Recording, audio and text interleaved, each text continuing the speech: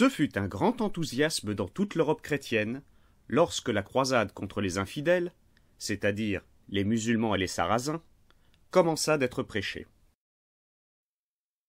En France, un moine, Pierre l'ermite, demandait à tout le monde de partir.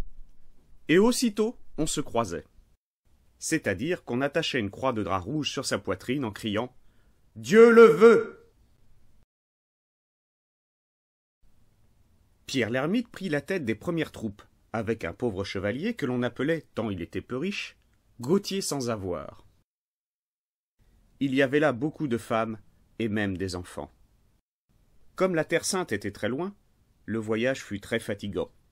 Et chaque fois qu'on apercevait une ville, les pauvres petits demandaient Est-ce là Jérusalem?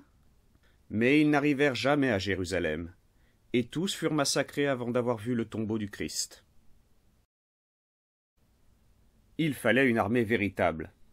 Elle se forma pendant ce temps avec des chevaliers de tous les pays.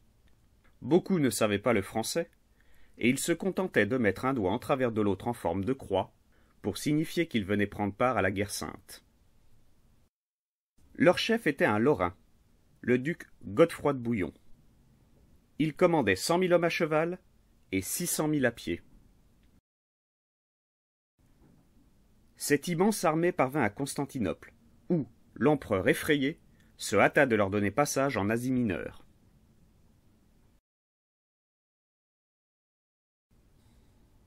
Le chemin était encore long et pénible avant d'arriver à Jérusalem. Il fallut livrer de sanglantes batailles aux musulmans, prendre des villes d'assaut, traverser des déserts. Souvent, on manquait d'eau et de nourriture. Beaucoup de croisés moururent aussi de la peste. Combien tombèrent sur les sables du désert pour ne pas se relever, et rendirent l'âme en regardant vers la croix, sans avoir vu Jérusalem. Quelques-uns se découragèrent. Ils n'étaient plus que cinquante mille lorsque la ville sainte leur apparut enfin. Ils étaient récompensés de leur souffrance et de leur peine. Jérusalem. Jérusalem. Dieu le veut. Dieu le veut. Cependant, les Sarrasins se tenaient sur les murs, bien résolus à se défendre, et il fallut encore prendre Jérusalem. Comme les murailles étaient très épaisses et très hautes, les croisés construisirent une grande tour roulante à plusieurs étages et garnie de peaux de bêtes pour la protéger contre les flèches. Sur le sommet de cette machine, ils dressèrent une croix resplendissante d'or à laquelle était attachée une image du Seigneur Jésus, afin de bien dire aux Sarrasins pourquoi les croisés voulaient entrer à Jérusalem. Les Sarrasins firent tous leurs efforts pour renverser la croix. Ils ne réussirent même pas à l'atteindre. Mais une des pierres qu'ils lançaient vint frapper un chevalier qui se tenait à côté de Godefroy de Bouillon, et lui fit jaillir la cervelle. Cependant, Godefroy de Bouillon, continuant de tirer lui-même avec son arbalète, criait courage à ses compagnons. Deux d'entre eux, deux frères, les chevaliers Ludolphe et Engelbert, voyant que l'ennemi commençait à faiblir, tandis que la tour roulante approchait toujours plus près du mur, jetèrent des troncs d'arbres vers le mur, et sortant du premier étage, passèrent sur le pont étroit et sautèrent sur le rempart, mettant en fuite les Sarrasins qui le gardaient encore. Ludolphe et Engelbert furent les premiers à entrer dans Jérusalem. Ils furent suivis par Godefroy de Bouillon, et son frère Eustache, qui, descendant du haut de la machine, passèrent par le même chemin.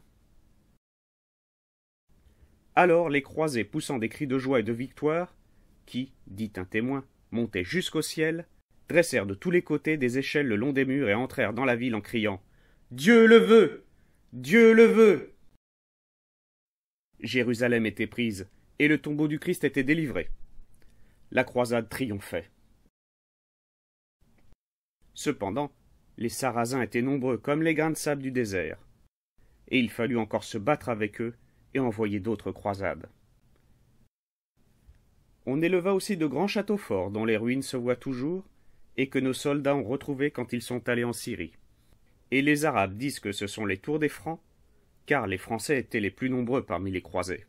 Et après plus de huit cents ans, les musulmans s'en souviennent encore. Cependant, Godefroy de Bouillon étant le chef, on lui offrit de devenir roi de Jérusalem.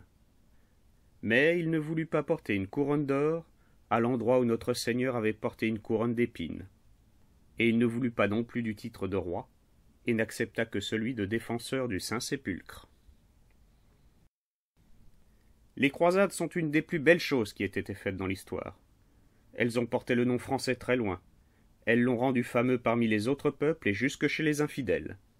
Parce qu'on a su à partir de ce moment-là que la France était le pays de la générosité, des grandes idées et de la foi.